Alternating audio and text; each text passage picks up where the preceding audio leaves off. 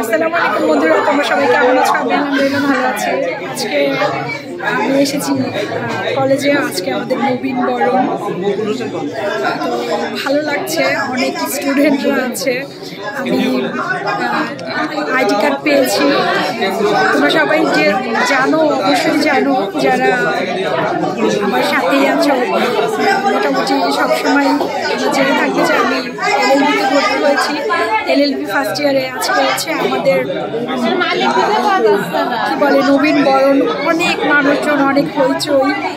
আমি, আমরা এখানে বসে আছি। এখন কিছুক্ষণের মধ্যে আমাদের স্যাররা চলে আসবেন। তো ভালোই লাগছে।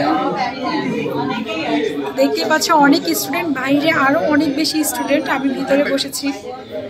তো ভাবলাম যে তোমাদের সাথে একটু শেয়ার করি। ভীষণ ভালো লাগছে।